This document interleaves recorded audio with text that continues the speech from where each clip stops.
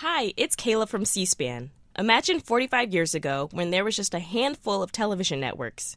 C SPAN first went on the air bringing an unfiltered view of government directly to America's living rooms. No spin, no commentary, just pure democracy in action. And it's Greta from C SPAN. It was a bold experiment. We finally had a front row seat to Congress, the White House, and the campaign trail, all without government funding. As we celebrate 45 years and a legacy of unfiltered access, we ask for your support of a donation in honor of our four decades of service. Your gift, no matter how big or small, will help maintain this vital resource for access to the democratic process. You can help ensure another 45 years of witnessing history unfold and empowering citizens to be informed and engaged in the political process. Visit cspan.org slash donate today and join our 45th anniversary campaign. Thank you for supporting C SPAN, your unfiltered view of government. Visit cspan.org slash donate today to make your gift of support. Thank you. South Carolina's economy is growing, bringing new businesses and opportunities. The need for electricity is growing too. At Duke Energy, we're meeting the challenge providing even more electricity that's reliable, that stays affordable. To do this, we're investing in our communities with a diverse, balanced mix of energy sources and making targeted upgrades to the grid so that South Carolina can thrive in a smarter energy future. Paid for by Duke Energy shareholders. Ow. Those uncomfortable things we do for beauty. Oof. Ouch. And when it comes to whiter teeth, same story. Until now. Enjoy rinse-free whitening with new Sensodyne Clinical White. You'll get clinically proven whitening technology in an enamel-safe formula for two shades whiter teeth and 24-7 sensitivity protection. Ah. Sensodyne Clinical White, a whiter smile without the wince.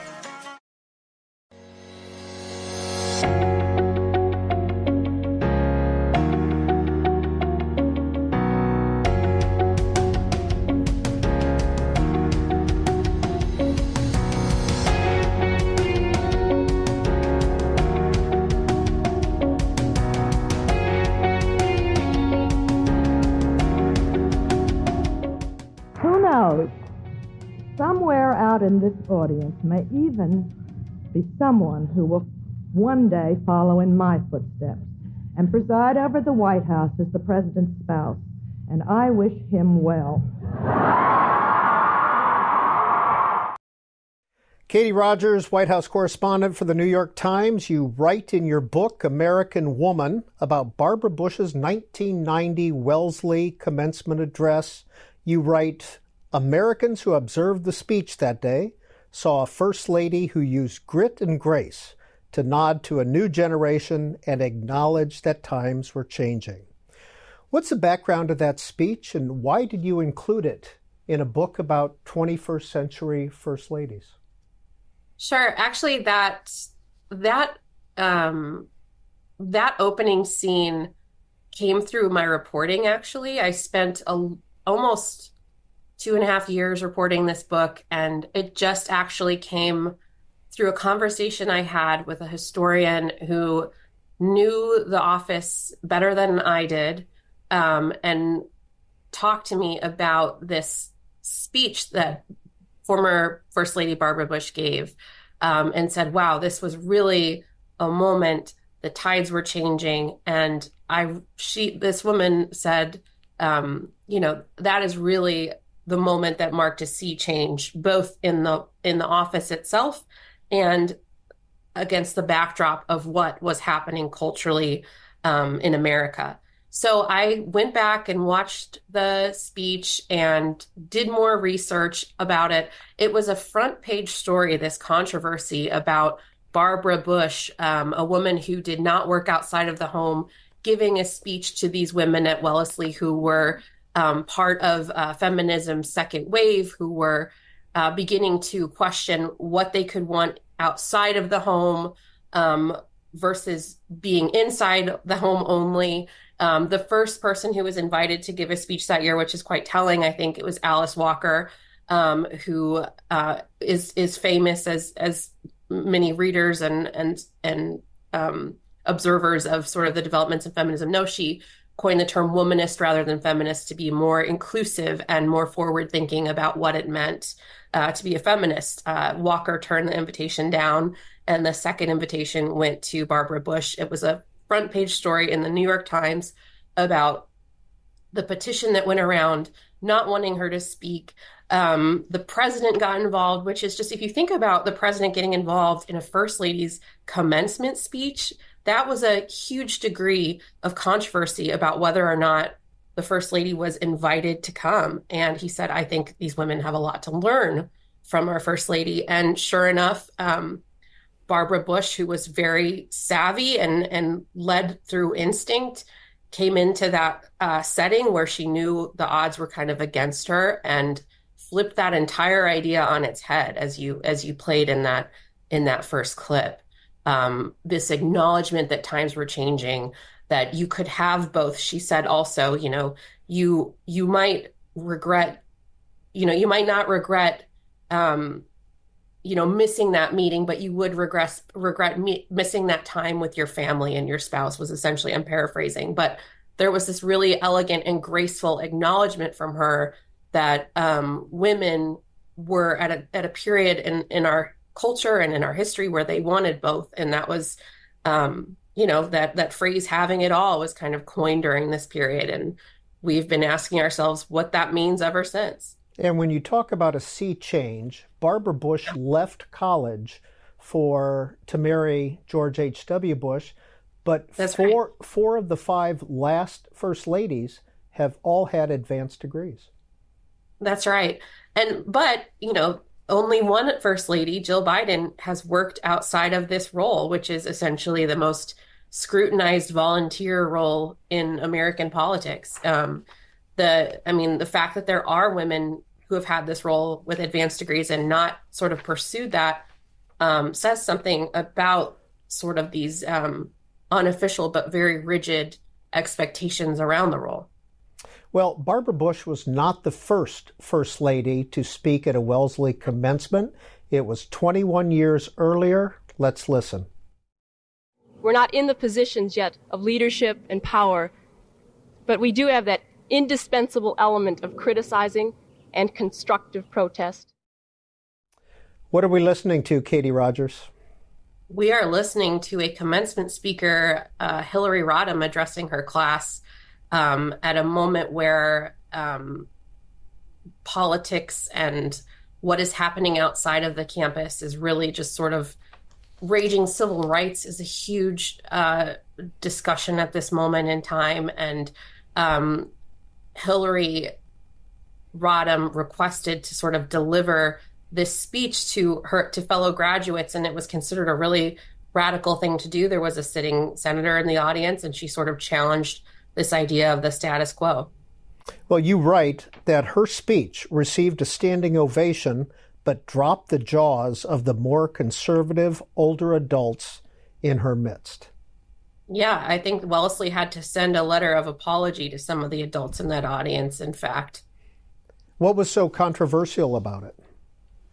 Just the fact that there was a young woman who was willing to get up and speak out against societal norms and what was expected of young people at that time.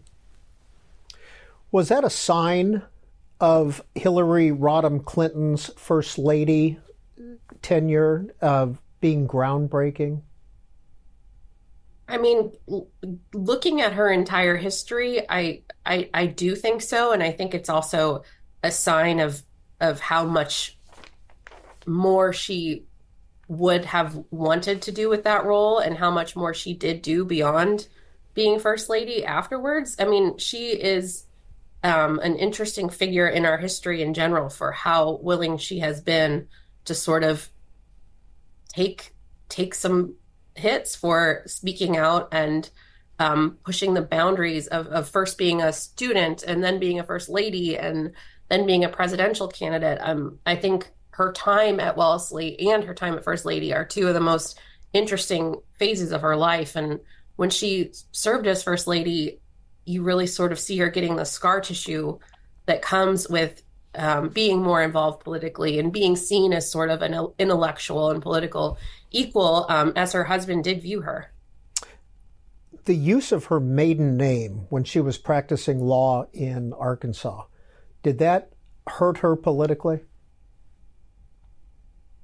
I mean, it's hard to say because she wasn't, you know, she wasn't pursuing politics at that time. I mean, she was married to somebody who was very interested in it. Uh, but so um, it was just more of an anomaly and a weirdness when she would be at a mixer, or not a mixer, but like a, a networking event, and she would have that sort of Hillary Rodham Clinton on her badge, and people didn't know how to take that. It was literally a foreign concept for a woman to want to stick to her given name at birth. Um, and it was only until a Clinton advisor, Vernon Jordan, advised her and said, This is likely hurting your husband, that she relented. Um, it was even a big deal for her to keep Rodham on stationery. Um, so she eventually, I mean, to your point, yes, it was more in the service of helping her husband succeed if she gave that up, um, which seems, I think, to a lot of women now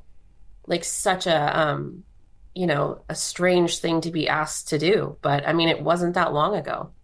In your book american women woman you write about this next video we want to show. This is hillary rodham clinton in 1992 on the campaign trail. You know i'm not sitting here as some little woman standing by my man like tammy wynette i'm sitting here because i love him and i respect him and I honor what he's been through and what we've been through together. And you know, if that's not enough for people, then heck, don't vote for him. Katie Rogers, what was the reaction to the stand by your man comment?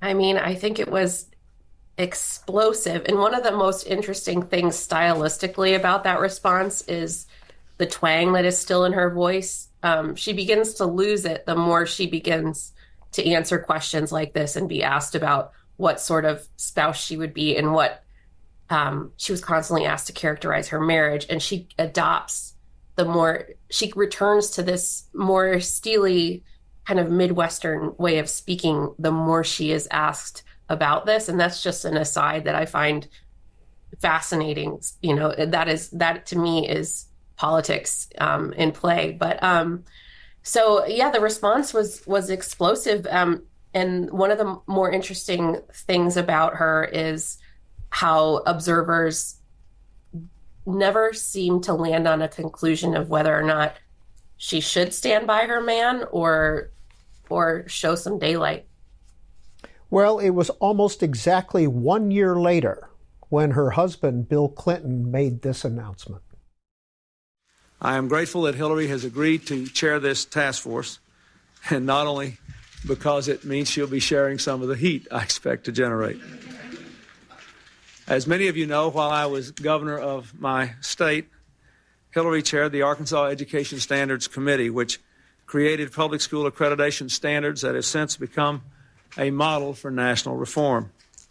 She served as my designee on the Southern Regional Task Force on Infant Mortality, was also chair of our state's Rural Health Committee in 1979 and 1980. I think that in the coming months, the American people will learn, as the people of our state did, that we have a First Lady of many talents, but who most of all can bring people together around complex and difficult issues to hammer out consensus and get things done. Katie Rogers, had any First Lady in the past had such a public facing policy role?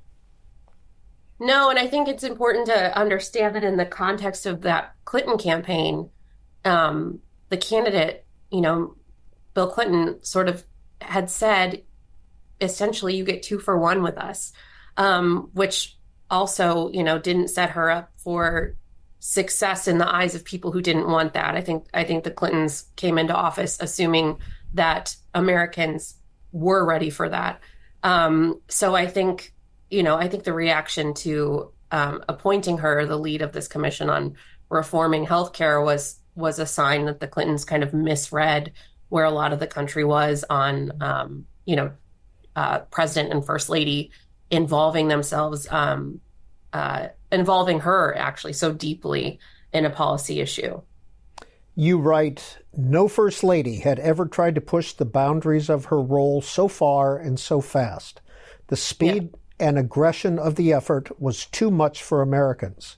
Other First Ladies had advocated for policy, but none had testified before the Senate or traveled the country or been burned in effigy. What was going on?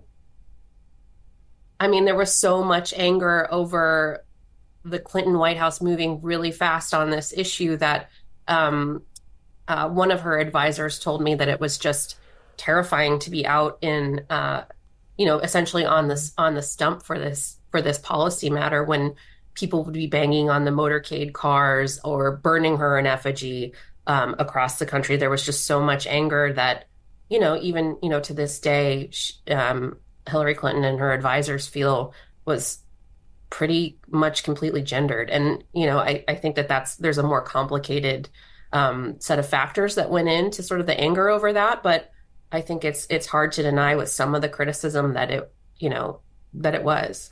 When you interviewed Hillary Rodham Clinton for your book, did you talk about the health care policy issue? We did. And I, I remember asking her, you know, knowing what you know now, would you have done this differently? Would you have stepped back? And I remember saying, I imagine that you you might you might not have. And she actually said, no, I would have. Uh, you know, it's important to me to seek a solution and I'm a policy person. And if it meant me stepping back, you know, I would have done that. And of course, hindsight is 2020 and who knows what, you know, you don't get the opportunity to do things like that over again you know, but her point was very much, you know, seemed to be coming from somebody who had learned, um, you know, through the hard way, really, that, um, you know, Americans didn't want that from a first lady. You write that Laura Bush benefited from Hillary Rodham Clinton. How so? Well, I mean, something as small. One one uh, Clinton advisor said, you know, Hillary couldn't ever wear pantsuits. It was a huge problem in the media or it was dissected, you know, within an inch of its life if she wore anything but, you know, skirts and even something as small as Laura Bush wearing pantsuits all the time. The Clinton Clinton advisors um, see that as evidence of just something that was smoothed out for the next first lady. Now I know that that is, uh, you know, seems superficial on its face. Um, I I would argue that it's not, but also, you know, Laura Bush had the benefit of coming after somebody who had been really just sort of raked over um, mm-hmm. by the media, by uh, her political opponents um, during the impeachment, obviously. So when it's, and there's also the factor that Laura Bush became a wartime first lady unexpectedly. So it's not all related to Hillary Clinton, but Laura Bush was able to take over the president's radio address weekly during the war and um, Clinton advisors see that as something, you know, just in no way Hillary Clinton would have been able to do to speak for her husband in any sort of formal capacity like that, especially after um, the healthcare uh, debacle. And here is Laura Bush from November 17th, 2001. Only the terrorist and the Taliban forbid education to women. Only the terrorists and the Taliban threaten to pull out women's fingernails for wearing nail polish. The plight of women and children in Afghanistan is a matter of deliberate human cruelty carried out by those who seek to intimidate and control. Civilized people throughout the world are speaking out in horror, not only because our hearts break for the women and children in Afghanistan, but also because in Afghanistan, we see the world the terrorist would like to impose on the rest of us. Katie Rogers, that was a big deal at the time? I mean, really, it, it wasn't a big deal, I mean, in the moment. But if you look at it through the course of, or in the context of what Laura Bush was doing versus what Hillary Clinton had been attempting to do, um, it is a big deal. It is a it's a huge deal that she could speak on behalf of the administration on foreign policy of all of all things. Um, so that's it. I mean, I think in the moment it was it was truly. I mean, if you think back to that time, it was a it was a collectively traumatic period for the American people. The Bushes didn't see it coming. She had to step up into this role that she had no expectation of of of taking, you know, which is the wartime. Um, uh, the president is a consoler in chief, but the the first lady does share some of that responsibility. Um, so, you know, I, I, think it was seen as sort of a, a what was needed, all hands on deck. But in the context of what came immediately before her, that is a big deal. Now, some of the adjectives you use in your book to describe Laura Bush restless, independent, quiet force, covert, not overt communicator. Mm-hmm. What are you getting at? I'm getting at Laura Bush had a style, and this was talking, you know, talking to experts who analyzed uh, hers and each, you know, modern first lady's speeches. Was that Laura Bush had a way of communicating that was very, um, it came across as um, invested and and related to her administration, but not intrinsically linked, not overtly political. It was more um, through the lens of a mother and a wife and a supporter of her husband who cared about these issues, not as a fellow policy um, wonk, a, a, senior advisor, um, somebody with her own extensive um, track record, understanding um, the political implications around everything that happened. Um, Laura Bush's um, approach was very much through the lens of a supporting role and which doesn't make it any less effective, but it is a different approach. Uh, a more traditional approach, yes. I think you could say more traditional approach for sure. Yes, you know that's you know um, even you know somebody like Eleanor Roosevelt was very much she would have her own press conferences. She would have her own um, independent sort of um, travel schedule um, and and writing schedule of, uh, from her husband, but very she very much even even she would say that is my husband's domain uh, when asked about um, politics or or the weeds of foreign policy um, and and Laura Bush kind of adopted that model um, even more I guess traditional than that. Wyndham Hotels and Resorts makes travel possible for all.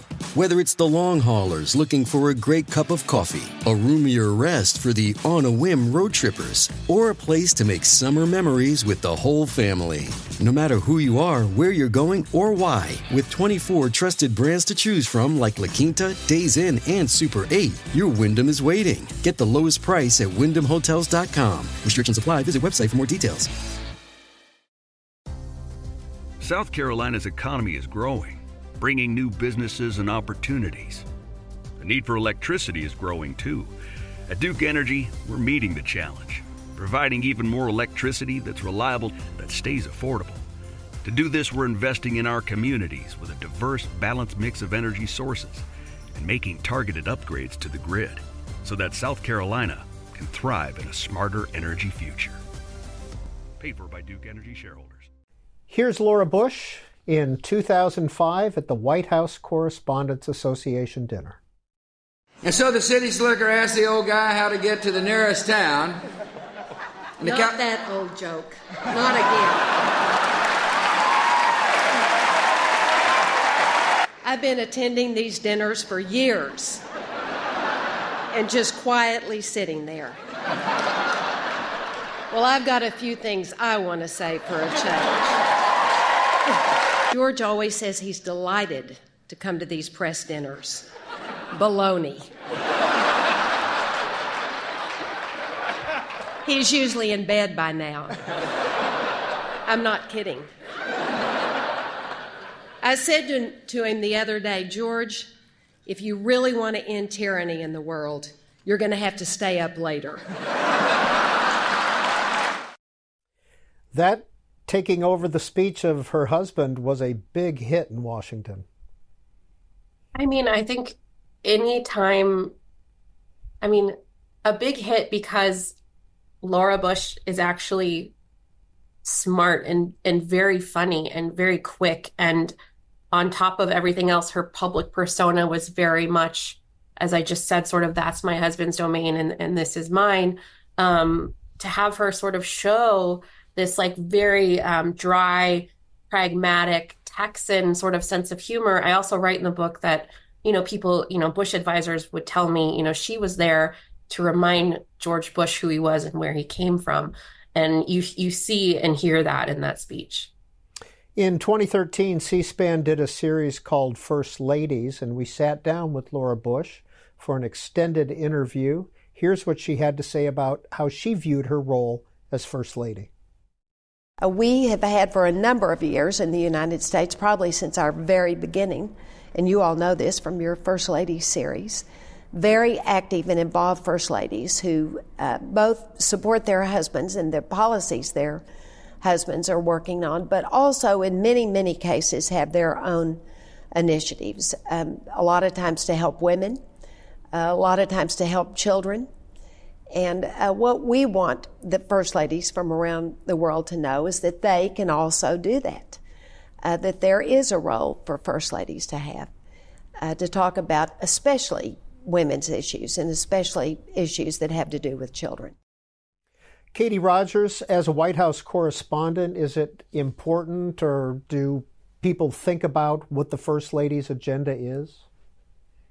Oh, uh, yes, of course they do. I mean, from the beginning of you know I've I've only covered the Trump and Biden White Houses, but you know through my reporting and writing in this book, there are questions at the outset of every term. Like what is the first lady's portfolio? What is her agenda? What is she going to be doing? Is she going to have one issue or multiple? Isn't it a mistake to have multiple and not one which is like what we've seen with um, jill biden right now? You know the, the fact that she doesn't have sort of this tentpole issue has been a constant question about is that effective? Is that the right thing to do? People are, uh, I think, enormously interested in in the potential of uh, the first lady to sort of prompt change. To Laura Bush's point about um, being an advocate for women and children, but I think you know there is also sort of this um, underlying curiosity um, from the American people. Um, and it's a it's a totally reasonable curiosity. How much influence does she have with her husband? How much can she affect change through her husband? And what is what does that agenda look like privately between the two of them? Um, and that's sort of an interesting subtext of all of that interest. And um, you really see that, you know, from the Clinton White House on forward, which is what this book is about. And Laura Bush invited historians to the White House late in their administration to discuss legacy, didn't she? That's right. I think that um, you know, I talked to several people who were invited for that and um, they had relayed to me that she, you know, for as much as she did during um, the Bush presidency, she was curious about how history would perceive her and what she could do or how she should think about framing herself, um, you know, framing her legacy, honestly, um, you know, after she was done. And um, that was sort of the questions she had for historians at the end. And how do you think she's perceived today?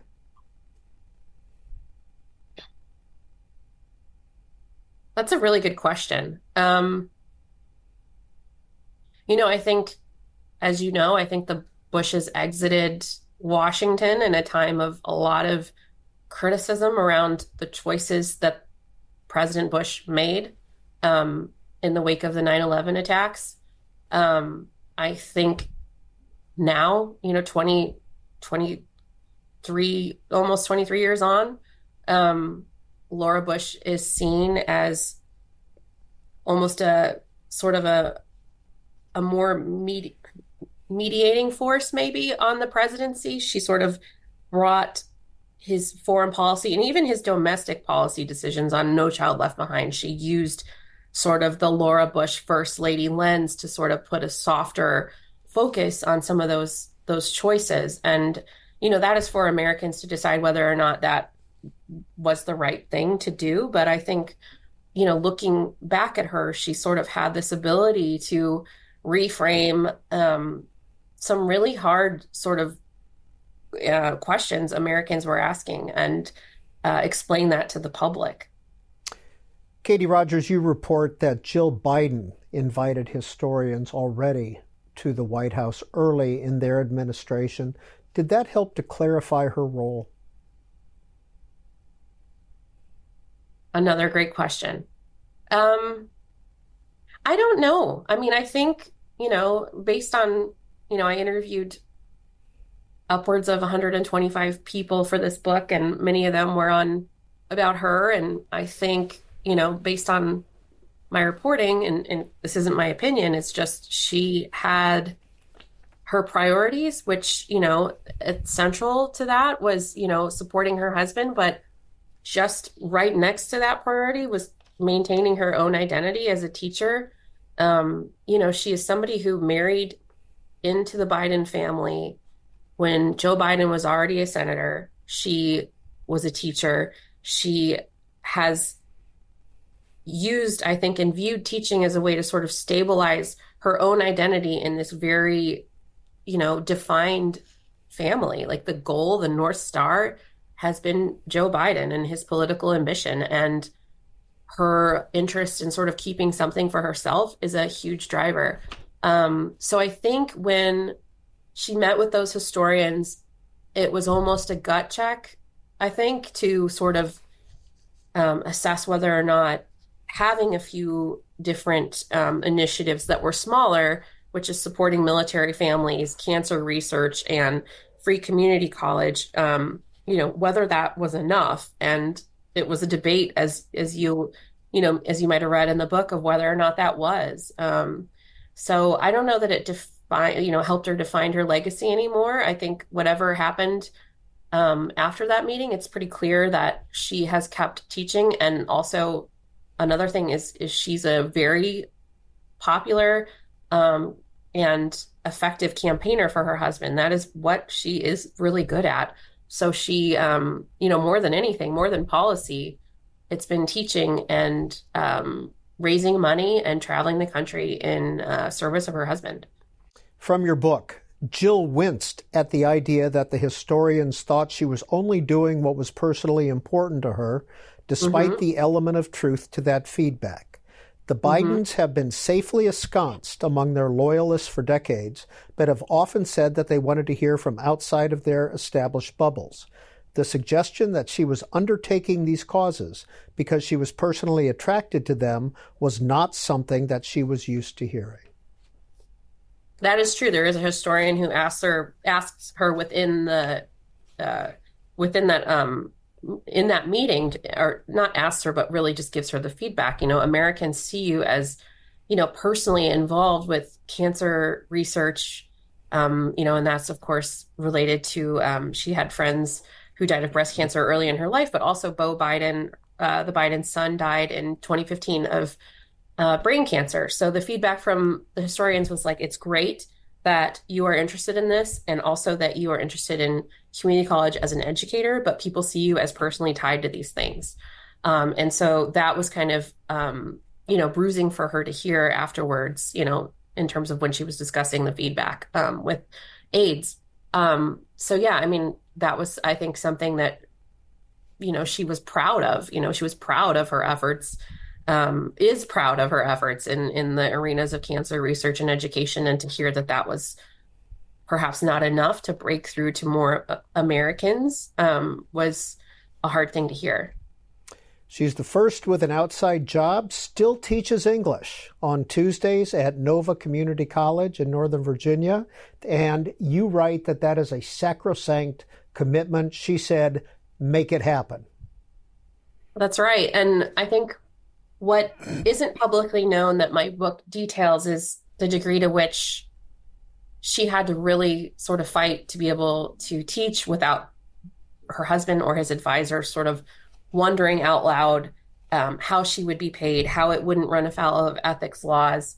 Um, you know, her uh, President Biden was concerned. Uh, now President Biden was concerned that it would be all too much for her, and she really, with the help of um, her aides, had to sort of push to be able to do this and convince everyone that it was okay to do. Um, so yeah, she really had to sort of work behind the scenes to make that happen. And no, go go ahead. I'm sorry. It, it just wasn't a given that she would teach, even though she had publicly said, "I plan to." And no reporters allowed. You have not attended one of the classes, correct? Oh no! I mean that is a serious, you know, church and state division, and um, you know, uh, I think any reporter who asks the college um, gets routed immediately to the East Wing, um, which you know that's that's her prerogative. Um, but as a reporter, I mean, I, I, think it's such a huge part of her identity and her life story that um, you know it's interesting to me that they don't allow um, people to see that, um, especially because it's such a huge um, part of her public identity. But you did check out her Rate My Professor reviews. What did you yeah, find? I did. Um, they think she's a tough grader. She um, and you know she's always grading um, on on trips I've I've taken with her. Um, I've seen her sort of poring over the papers, and she's very invested in um, uh, just getting feedback to her students.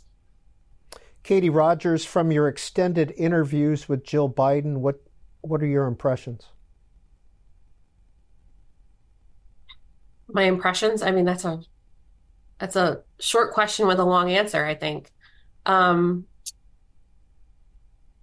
you know, I think she's been in public life for a really long time, as has her husband. Um, and I think that she is very practiced at um,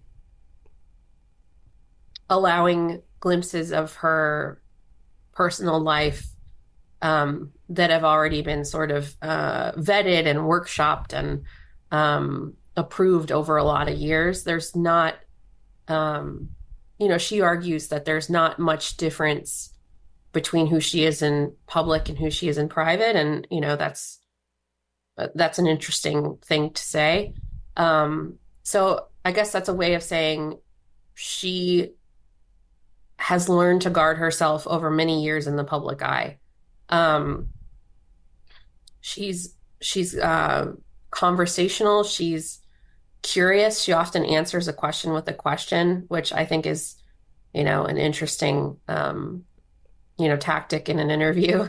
Um, I, I just think that she's hard to sort of get to know. But then again, you know, she's given so much of herself to um, to the public already that I think that is I can understand how that it would be very important to protect. We're going to show some video of her on the campaign trail in 2020 in Los Angeles.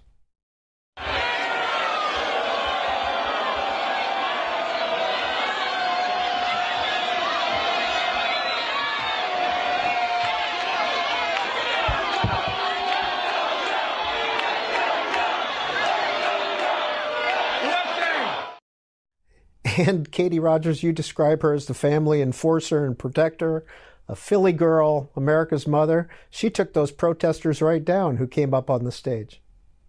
That is, I, I feel like I've watched that video probably 30 times. I mean, it's just really um, says a lot about her instincts, I think, in that moment um, to sort of get between her husband and anyone trying to hurt him. Um, she is, you know, the Biden family is very protective over the president in general and has been for a long time. Um, but she sort of makes up this core of of wanting to make sure he's okay, and she is tough. I mean, she's, you know, she is. Uh, there is part of that Philly girl persona that's a- that's absolutely true you know, that's who she is. At Mayo Clinic in Florida, we're conquering the unconquerable. Using artificial intelligence and data, our experts can create a personalized gene roadmap just for you, customizing your cancer treatment, giving your body exactly what it needs to fight the disease. We're making more possible at Mayo Clinic because every day we're doing what's never been done. Learn more at mayoclinic.org/possible.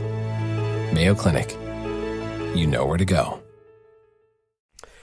Was she willing to talk about her role as mother to Beau and Hunter and subsequently Ashley and the age issue that's uh, being discussed in political circles now?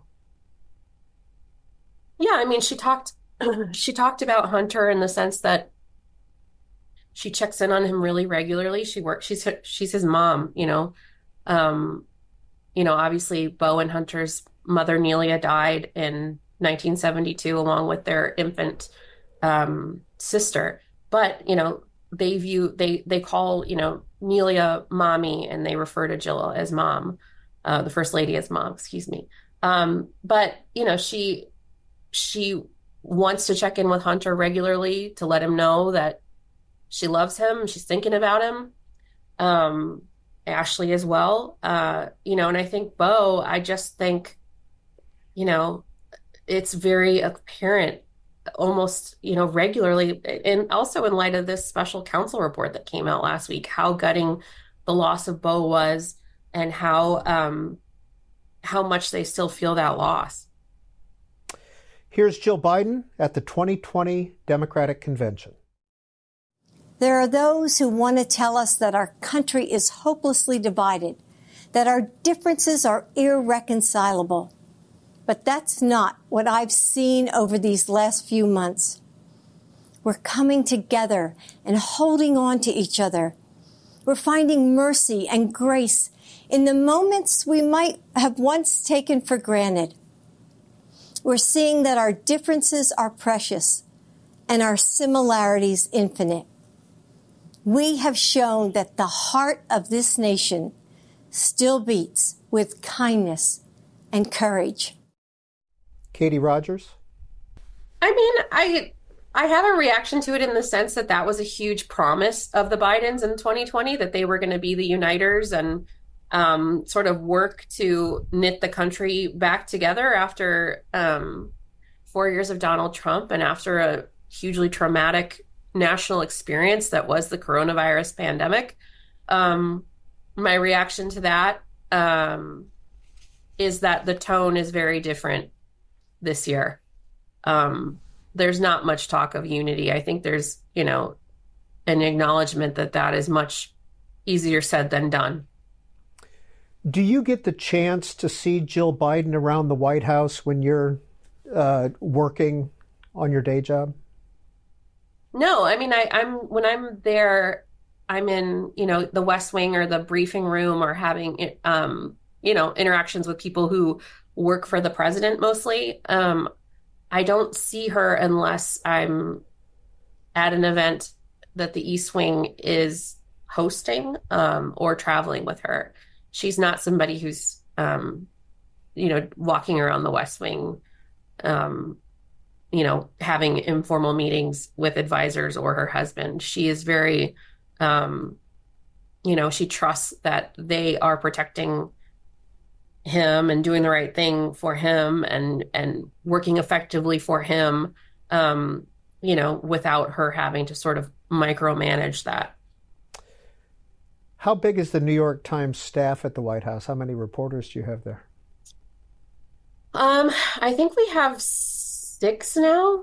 Uh, it it changes depending on whether somebody's traveling abroad and filling in for reporters abroad or working on on projects. But I think we have six right now. What was your path to the New York Times? My path to the New York Times. So I'm from um, Elkhart, Indiana, um, and started out at my hometown paper called the Elkhart Truth in um, 2007.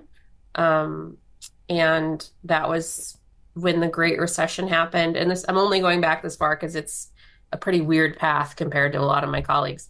Um, and I decided to go to graduate school at Northwestern because the economy was terrible. There weren't a lot of reporting jobs. And I thought maybe if I got a graduate degree in journalism, that I could, you know, go somewhere bigger um, and work in digital media. I, I was always really interested in in um, blogging. I'd blogged since I was a kid, and and so reporting through social media, finding people on Facebook and Twitter, and and back then that was like very new and very sort of um, not revolutionary, but it was just this whole other world of of reporting that that was unlocked, and that came naturally to me. So um, I made my way to Washington. Um, I worked on the social media desk at the Washington Post and transitioned to sort of local reporting. Um, and I did a lot of the same work at The Guardian, um, you know, sort of breaking news through social media. um, and reporting that way. And then I got a job at the Times um, working on an app, and I actually got hired on the overnight shift 10 years ago to sort of run a news app. And um, weirdly enough, that was during, um, you know, the sort of tumult in Ferguson. So I would report overnight and feed breaking news stuff to the the, the national desk or the, whoever needed it. Um, and I came up through that world of um, breaking news and, and sort of general assignment rewrite. Um, and uh, I paired that with feature writing, which I love to do. And, and they brought me to the the Washington bureau um, the first weekend of of Donald Trump's you know presidency. Um, I covered the inauguration. I wrote features, and it was supposed to be for three months. And I'm still here, and I've been on the White House team since 2018. So I have a very different background than a lot of reporters have at the paper. I think a lot of them who are a little older, um, well, a lot of them started their careers at the Times as copy clerks or something, and then others had that more traditional leapfrog path. And I took a completely different route through um, through an understanding of, of digital media, I think. And Katie Rogers' first book is called American Woman The Transformation of the Modern First Lady from Hillary Clinton to Jill Biden. Do you think Jill Biden's eight years as second lady assisted her in her new role? That's a good question. I mean, of course, in the sense that she understood um, the bubble, sort of the degree of protection that goes into um, the everyday life of of those principals. Um, she had a lot more uh, freedom to move without attention or scrutiny, I think, than she does now. But um, you know, I think that that was instructive, and um, I don't, you know, she worked with um, Michelle Obama on a military families initiative that um, she has carried forward, you know, through her time now as first lady. So there's that sort of connection. Um, I think it did, and and also I think you know the being able to teach as, as second lady, she was able to say, you know, you made this happen when I did this, so we're going to make this happen now. You know, she had that sort of understanding of what it took to get her there um, when they were already, when the Bidens were already in the administration. Was Michelle Obama a tough act to follow? I, you know, I I did not ask the current first lady this, um, but according to her aides and um, you know Biden aides going back to the vice presidency, yes, because Michelle Obama was the expectation surrounding Michelle Obama and what she would do with this platform and how she would use it and and even what how she would address things and what she would say and what she would wear. There was so much interest in her. And um, she really, Michelle Obama really leaned into a lot of that. And, um, you know, when one person said, you know, she made Washington cool, you know, celebrities wanted to be at the Obama White House. They wanted to know what she was wearing and what designers and, and was she wearing J. Crew with, you know, a, des- a famous designer mixing um, that, and then there was the whole, you know, first black first lady element of it. The ra- the racial scrutiny around her was enormous, and she navigated that, you know, by all accounts with grace and sort of a, a pragmatic understanding of what was expected from her. So, in that sense, following that, um, you know, there was, and and also though we had another first lady in between the two of them that sort of we can't leave out Melania Trump really because that kind of even reset the expectations to zero when you had a first lady who um, did very little um, at times with her platform. So, um, you know, if Jill Biden had followed Michelle Obama, um, that probably would have been much more of a, a an interest or a you know a, a question. But um, you know, there was that sort of that period uh, where things got a little um, unraveled and reset. Well, here's Michelle Obama from the 2008 Democratic National Convention. you work hard for what you want in life, that your word is your bond, that you do what you say you're going to do, that you treat people with dignity and respect, even if you don't know them and even if you don't agree with them. And Barack and I set out to build lives guided by these values and to pass them on to the next generation because we want our children and all children in this nation to know that the only limit to the height of your achievements is the reach of your dreams and your willingness to work hard for them. Katie Rogers, you describe Michelle Obama, iconic, straightforward speaking style, dry wit, little patience for politics, but did not want to live with the alternative version of that story if she didn't say yes to Barack Obama's run. Right, and that's that's in her own words. She's said that and written that that she knew that this was she believed in his potential so much that she put her own um, interests aside professionally and personally um, to help him win, to campaign extensively for him, to sort of take the hits of being a first time campaign spouse, which she did when she misstepped or mis- misspoke.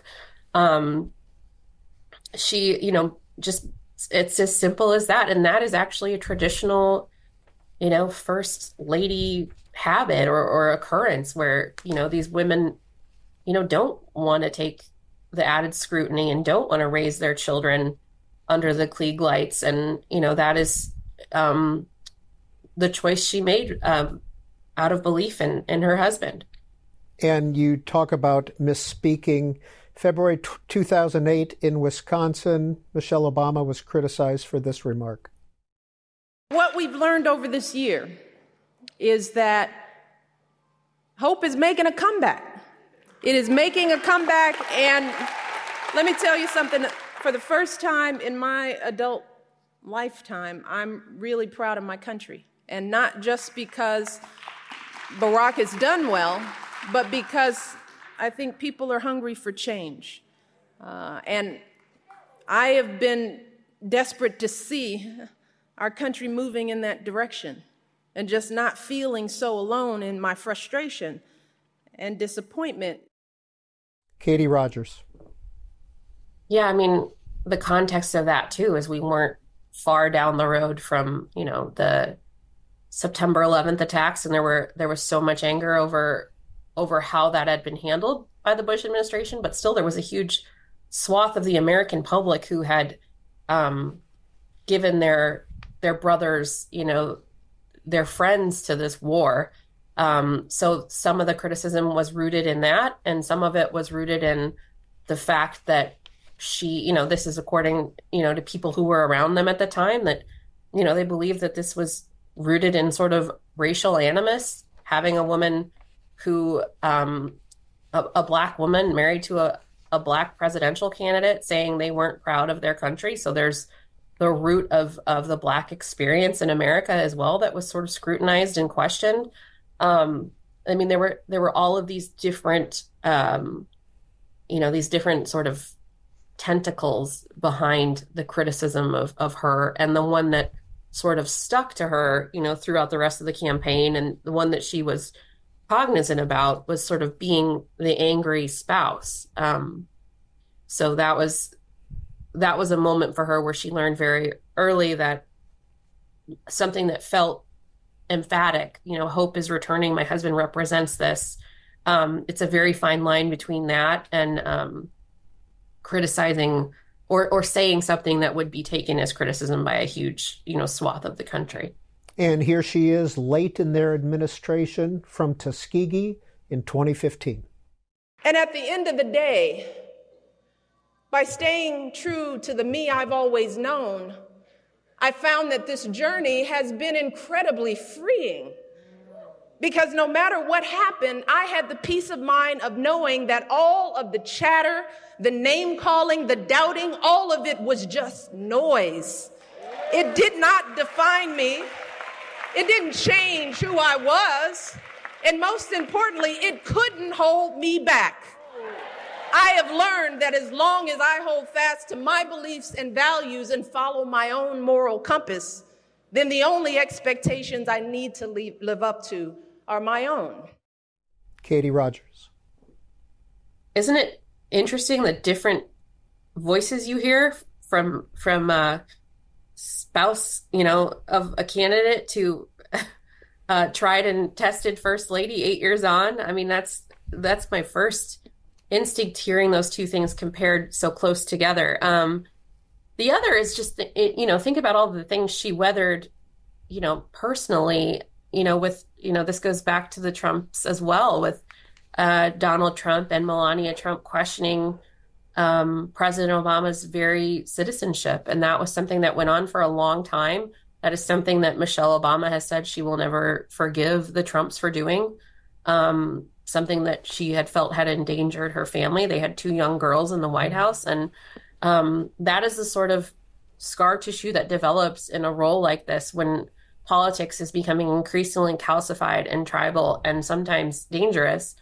Um, and so you have a first lady at the end of her time saying, All that matters is I know who I am. And that is, you know, looking at Michelle Obama now, the way she operates on the world stage is somebody who learned those lessons and is sort of applying them um, in her post politics life. Did Michelle Obama or Melania Trump sit down with you? Neither did. Melania Trump engaged through a spokesperson, um, but Michelle Obama did not. Quote from your book Throughout their relationship, both made it clear to the public what each prized about the other. Donald Trump, a person motivated by power and money, shared that he felt that the third thing on his list, women, should take less effort than the other priorities on his agenda.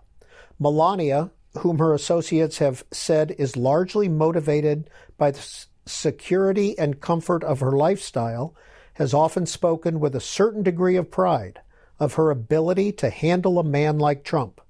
The fact that she could stay with him, she has signaled, is a testament to her strength. Yes, I mean they have been very, you know, they're they were more forthcoming before he, you know, was a presidential candidate about sort of the the exchange the two of them were making in their relationship. Um, he gave several interviews saying, you know, if I if I couldn't offer her money and uh, security, what am I good for? and she has essentially back back then she would say the same thing like this is an exchange um, so you know i think that over time you know talking to people who know them um, you know their their bond and and understanding of each other is is different than any of these other relationships that I write about in my book but it's more of an exchange i think you know i think she you know by all by many accounts that she cares about him um, and believes in him. You know, she wouldn't have supported him during um, the sort of the birther conspiracy if she didn't, to some degree, share a lot of those instincts. Um, she wouldn't have supported him through the Access Hollywood tape if she wasn't, you know, convinced in some degree that he was goaded into saying that. Um, whether or not, you know, that's that's actually what happened is, you know, sort of irrelevant if she was willing to go and defend him. She was angry over the Stormy Daniels payments, but, you know, from my reporting, that's more about being in, embarrassed about the headlines, um, you know, as much as it was about being, um, uh, about having infidelity in her marriage. They have an interesting uh, dynamic that is about, um, in in some ways, the exchange of power. Hillary Rodham Clinton, Laura Bush, Michelle Obama, Melania Trump, Jill Biden, the first five first ladies of the 21st century. Is there a trajectory, Katie Rogers? In the sense that something, you know, of what might come after?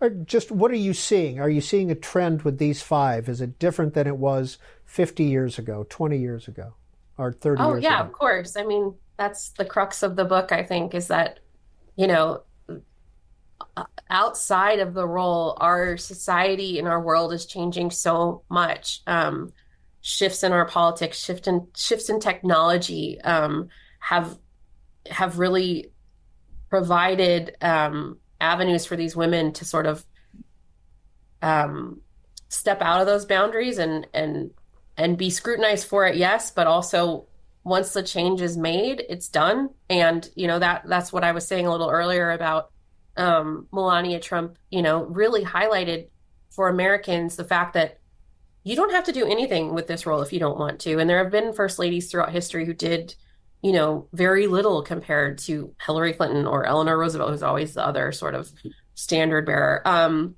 but the fact that Melania Trump was doing this in our times as they are is is um, is almost radical. Um, so when you have somebody that comes in and sort of illuminates these sort of you know unwritten rules, um, regardless of how you feel about them, um, that is groundwork for the next person who has the role to say, well, you know, I, w- I still want to be first lady and fight for these things, but I'm also going to work twice a week, you know, and it becomes less of a radical idea when you have people who are pushing the boundaries um, uh, so in, in the public eye like this. Does that make sense? Let's close with a quote from your book Americans have not seen another First Lady quite like her since but Hillary's time in office permanently and fundamentally shifted how Americans view the role. Each woman who has come after her has faced perennial questions about what she may do with the platform she has been given, and of course, how far she might go. The book is called American Woman The Transformation of the Modern First Lady From Hillary Clinton to Jill Biden. The author, New York Times correspondent, Katie Rogers.